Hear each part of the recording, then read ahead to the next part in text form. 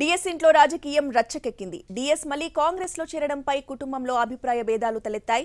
నిన్న కాంగ్రెస్లో డిఎస్ ఆయన పెద్ద కుమారుడు సంజయ్ చేరగా ఇవాళ కాంగ్రెస్కు డిఎస్ రాజీనామా చేసినట్లు వీడియో విడుదల చేసి ట్విస్ట్ ఇచ్చారు ఆయన భార్య.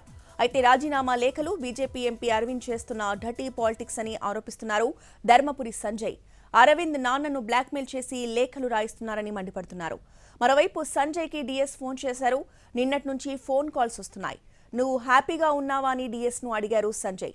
అయితే ఇక్కడ కొన్ని వేధింపులున్నాయని సంజయ్కి చెప్పారు డి శ్రీనివాస్.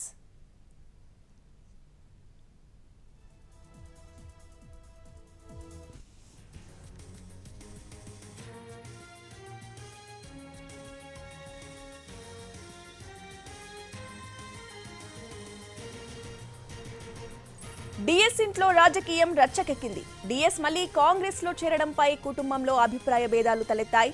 నిన్న కాంగ్రెస్లో డిఎస్ ఆయన పెద్ద కుమారుడు సంజయ్ చేరారు.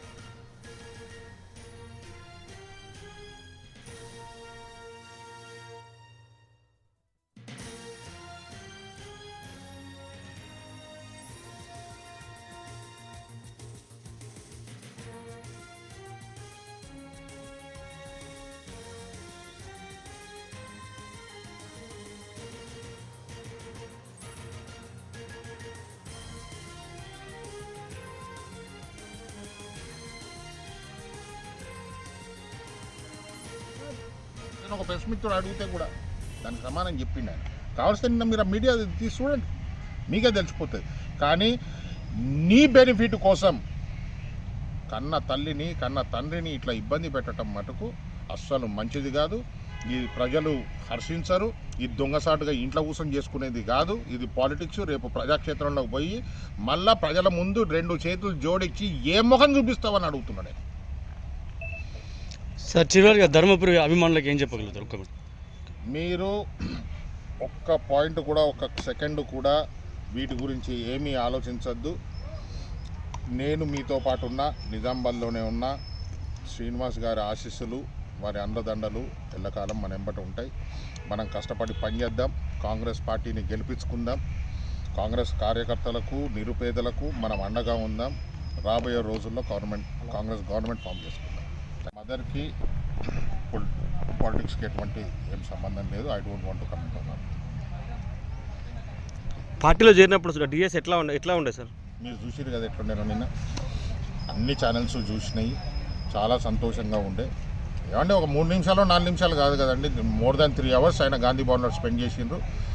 ఆల్మోస్ట్ అన్ని ఛానల్స్ కూడా ఆయనతో మాట్లాడినాయి. వ్యక్తిగతంగా ఛానల్ ఆఫ్టర్ ఛానల్ ఆయన వ్యూస్ తీసుకున్నారు. అతని అభిప్రాయం కనుక్కున్నారు? ఏ ఒక్కరికి కూడా రవంతా కూడా అనుమానం ఏం రాలేదు కదా. ఈ వాజ్ సో హ్యాపీ తర్వాత ఈ ఈ లెటర్ల బూటకం ఎవరిచ్చిన ప్లాను? ఆయన లెటర్తో సంతకం పెడుతుంటే మీరు పక్కెళ్ళి వీడియోలు ఎందుకు తీస్తారు మీరు పక్కెళ్ళి వీడియోలు ఎందుకు తీస్తున్నారు? దాన్ని బట్టి ఆ వీడియోలు తీసే కార్యక్రమం బట్టి అర్థమైపోతలేదా? ఇది ఒక ఫేక్ అని చెప్పి ఆయనను భయపెట్టించో ఇమోషనల్గానో లేకపోతే ఆ లెటర్లో ఏదైనా వేరేది ఉందని చెప్తారు పాయింట్ అర్థమైందండి ఆ లెటర్ లెటర్లో ఏదో వేరే కంటెంట్ ఉందని చెప్పేసి అట్లా సంతకం పెట్టిస్తున్నారు. రేపు ఆయన నేను భయపెట్టించి ఏమో వీడియో గీడియో తీపిచ్చి ఆయనతోని రిలీజ్ చేపించే అవకాశాలు కూడా ఉన్నాయి.